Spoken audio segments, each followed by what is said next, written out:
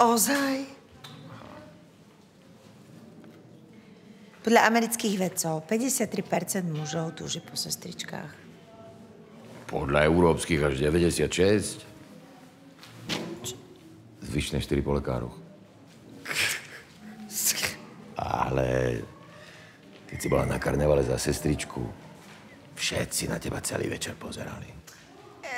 Áno, a keď sme odchádzali, každý mi ťa závidel.